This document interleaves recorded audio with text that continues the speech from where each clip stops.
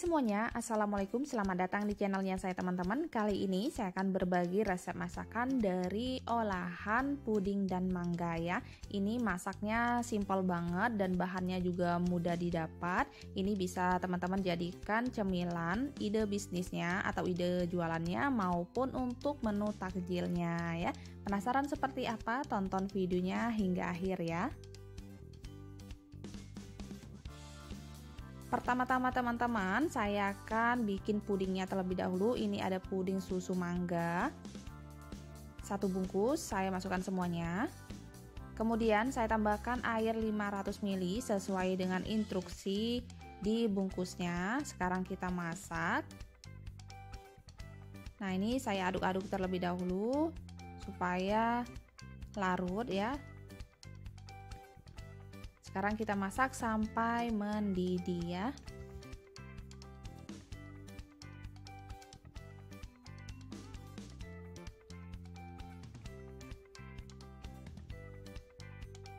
Nah, ini udah mendidih seperti ini. Selanjutnya saya matikan kompornya.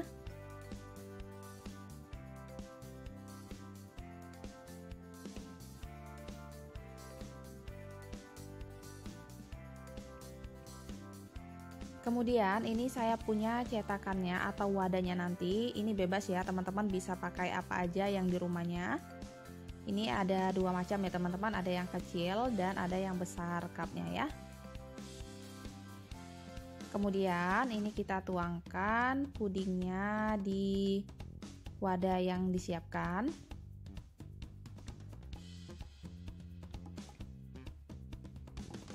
Sementara ini mengeset, sekarang saya akan bikin flanya ya teman-teman. Ini saya punya keju seperti ini, teman-teman bisa pakai apa aja. Nah ini kejunya saya bagi 3 per 4, 3 per 4 nya itu untuk flanya nanti. Dan yang kecilnya ini untuk taburannya nanti ya. Nah ini yang teman-teman yang besarnya saya parut semuanya.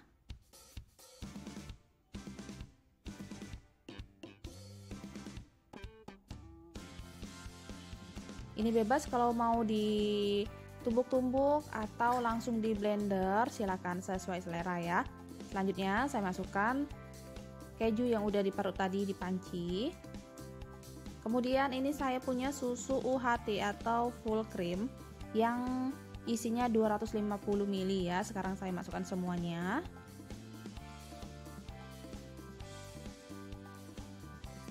Kemudian sebagai pemanisnya, ini saya tambahkan SKM atau susu kental manis. Teman-teman bisa pakai apa aja. Ini saya masukkan sebanyak 3 sendok makan atau disesuaikan aja sama selera. Kalau nggak suka SKM bisa diganti sama gula pasir ya.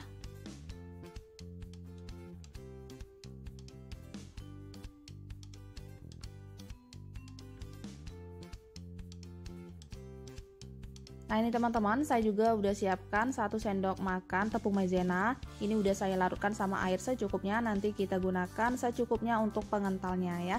Sekarang kita hidupkan kompornya Kita masak sambil diaduk-aduk supaya nggak gosong ya. Ini gunakan api yang kecil aja. Nah ini teman-teman udah mulai mau mendidih.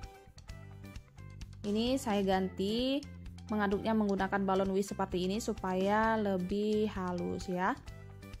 Nah ini saya tambahkan sekitar 2 sendok makan tepung maizena yang udah dilarutkan tadi. Sekarang kita aduk cepat supaya tidak menggumpal. Nah ini udah cukup untuk kekentalannya disesuaikan aja sama selera teman-teman semuanya ya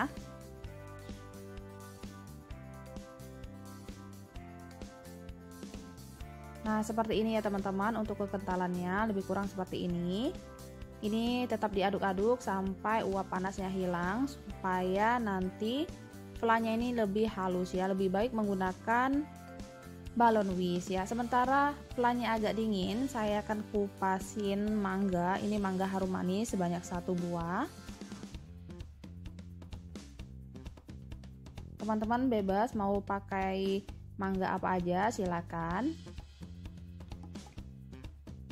usahakan gunakan mangga yang manis dan matang ya.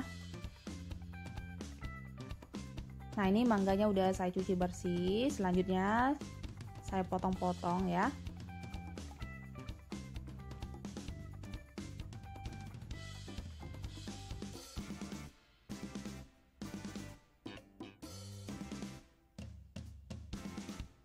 Ini saya potong dadu aja seperti ini untuk bentuknya disesuaikan aja sama selera teman-teman.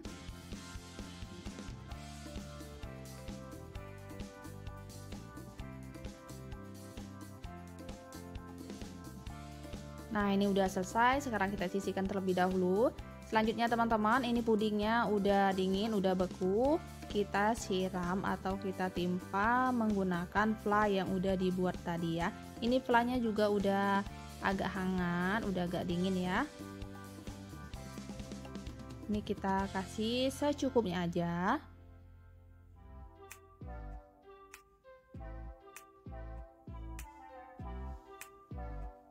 Sekarang tinggal dirapikan bagian atasnya.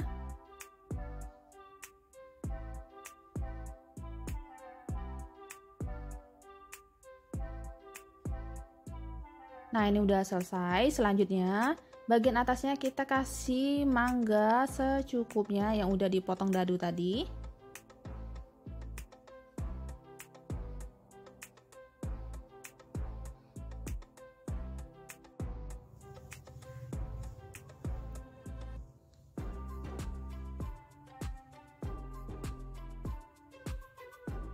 Nah ini udah selesai. Selanjutnya kita taburin sama parutan keju secukupnya ya. Ini keju sisa tadi ya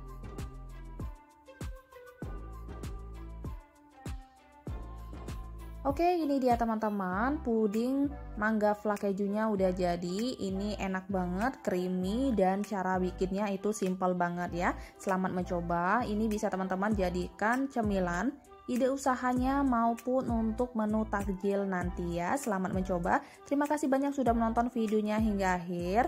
Semoga videonya bermanfaat, bisa menjadi inspirasi buat teman-teman semuanya. Sampai ketemu di video-video saya selanjutnya. Assalamualaikum, bye.